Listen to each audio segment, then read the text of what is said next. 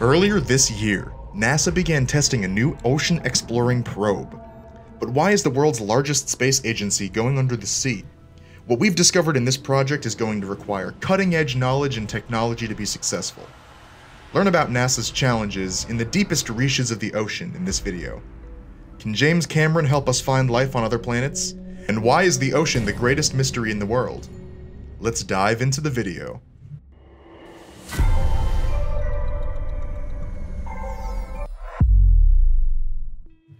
We need probes to explore space because we can't get there on our own, but getting to the bottom of the ocean is a different story.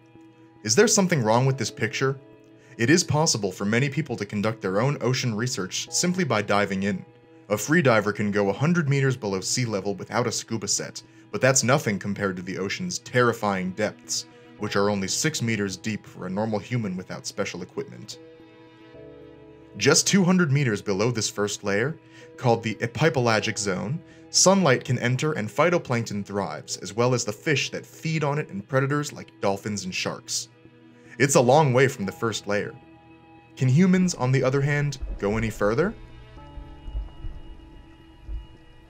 A new world record has been set by Ahmed Gaber, who dived to a depth of 332 meters. At this point in time, it's safe to say that he's entered the mesopelagic, also known as the Midnight Zone. From 200 to 1,000 kilometers below Earth's surface, it can be found. It's impossible for even the most advanced military submarines to reach this point. It's a barren wasteland with no sunlight, and the animals that live there are extraordinary. Because of their large eyes and bioluminescence, they've become accustomed to living in dim light. Furthermore, this is where 90% of the world's fish, or about 10 billion tons, can be found.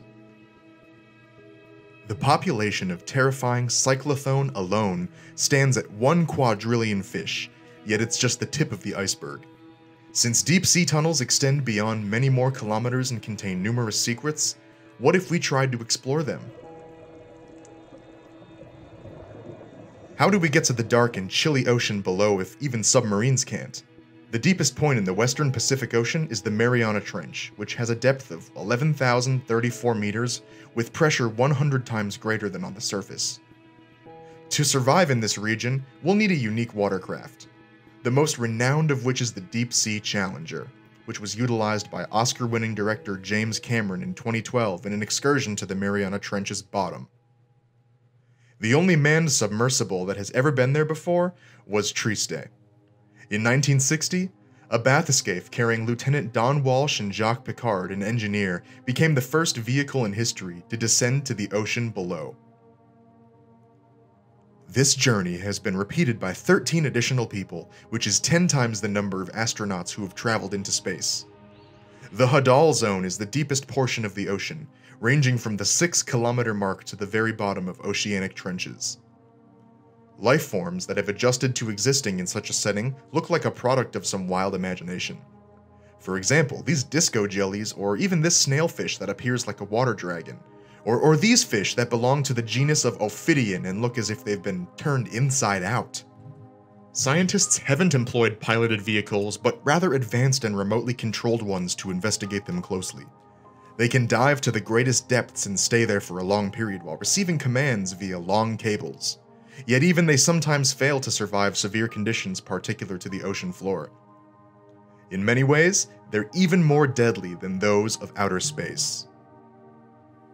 In 2014, an underwater vehicle, Nereus, operating under the US flag, went down to the Kermadec Trench located close to New Zealand.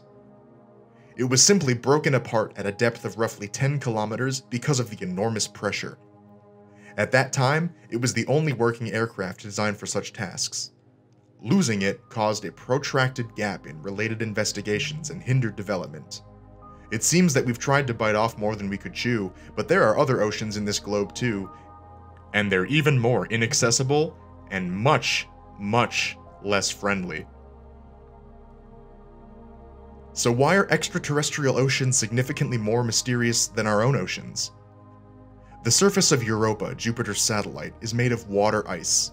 According to specialists, this ice sheet has a thickness between 15 and 25 kilometers, and under it, there's an ocean. Astrobiologists believe that life may exist on the satellite's surface near hydrothermal vents that emit the satellite's interior heat. This form of life could be similar to that found in the deep waters of Earth. Furthermore, Enceladus, Saturn's satellite, may be livable at times.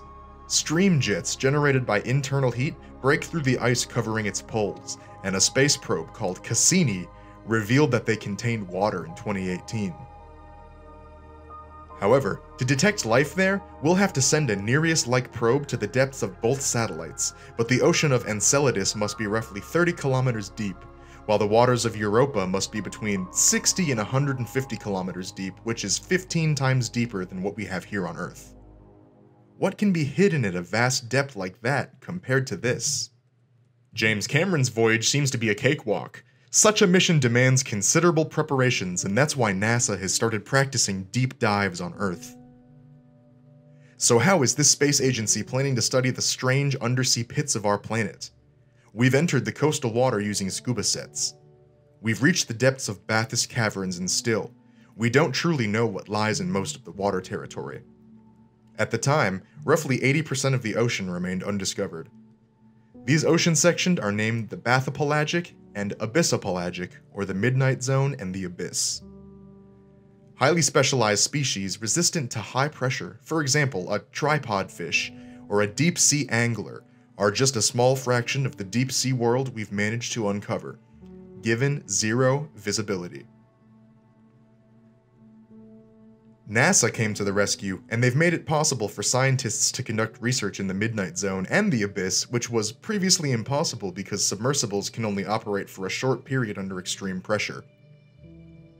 Using sensors and cameras from the Perseverance Mars rover, they built an underwater drone called Orpheus that can look at rocks, shells, and other submerged life forms, as well as create 3D maps of the ocean floor.